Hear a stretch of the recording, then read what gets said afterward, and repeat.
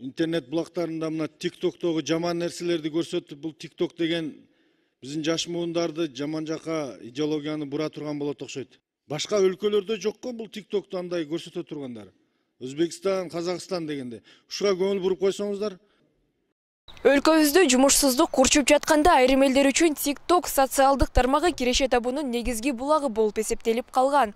Буга карабай өлкөбүздүн жогорку кеңешинин депутаттары тарабынан социалдык тармакты бир эмес бир нече жолу жабуу керектигин сунушуу менен элге кайрылган. Мындан эки үч күн мурун социалдык тармакты бүтүндөй жаппай элдин психологиясына зыянын тийгизген видеолорго чектөө жүргүзүш керек деп айтышкан. Дал ушул маселе боюнча бишкек шаарыбыздын элинен сурамжылоо жүргүзөбүз. Мы за тикток! Мен негизи тиктокко каршымын. Неге баягы биздин балдарыбыз ошону көрүп алып кичине башкача тарбия көрүп атышат да мен каршымын баарыбызга эле белгилүү болгондой азыркы учурда көптөгөн инсандарыбыз көптөгөн жарандарыбыз өзүн туура эмес жагынан көргөзгүсү келип атат. Менин оюмда эгер ошолорго сунушум эгерде өзүнүн туура жагын көргөзгүсү келсе ошол эле ырдап чыксын ошол эле билеп чыксын ошол эле талантын көргөзсүн ошонун кыргызга элге жерге жарай турган кызыктуу нерселерди тартса анан тикток жагы жакшы уланат деп ойлойм. Негизи тиктоктун жакшы деле жактары бар чынын айтсам мисалы мен спортко кызыгам спортко кирем спортко бир лайк бассам мисалы күрөшкө тикток мага жалаң күрөштүн эмелерин сунуштайт да ал эми жанагындай өзүбүзгө эле белгилүү болгондой эми ар кандай туура эмес нерселерге лайк бассак тикток өзүнүн өзүн тартат элге ошогочу. Ошондуктан ал элден да көз каранды деп ойлойм. Я за ой я против удаления тиктока. Это классное предложение. Я за потому что тикток убивает мы хотим мы знаете мы должны убивать людей нас тикток мотивирует убивать людей да. Удалять башында жакшы эле видеолор бар азыр вообще эле киргенге мүмкүнчүлүк жок да.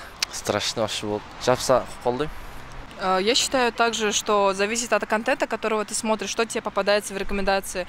Есть много очень познавательных вещей, там, не знаю, биология, та же самая алгебра попадается в рекомендациях, и ты можешь что-то узнать интересное. Э, также новости разные, э, всякие массовые движения. То же самое, помните про Баткен, что было?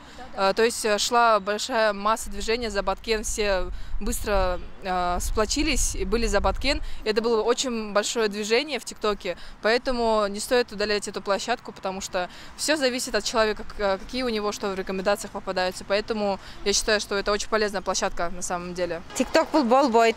Динге дагы вообще зыян тийгизип атат. Жаштарды бузуп атат. Ошондуктан мен вообще каршымын. Жок кылганга аракет кылыш керек. Кантип болсо дагы жогору жакка кайрылып болсо дагы жабыш керек муну.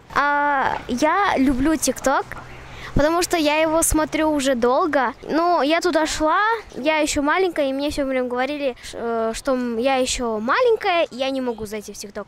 Но я по-любому ТикТок и очень интересное приложение. А я не хочу, чтобы удаляли ТикТок.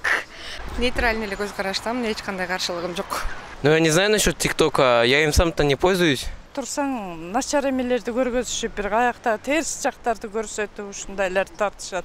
Бирок азыркы учурда мекенибизде болуп жаткан туура эмес тартып аткан инсандарга жарандарга чара көрүлсө деген оюм бар. Кыргызстан эркин демократиялуу мамлекет ошого жараша эле. Кыргызстанда жашаган адамдар толук эркин жашоого укуктуу ага отурлай эле тиктокту толугу менен же кандайдыр бир бөлүгүнө чектөө киргизип койсо ал жактагы видеолорду башка тармактардан тикток колдонуучулары көрө алары толугу менен белгилүү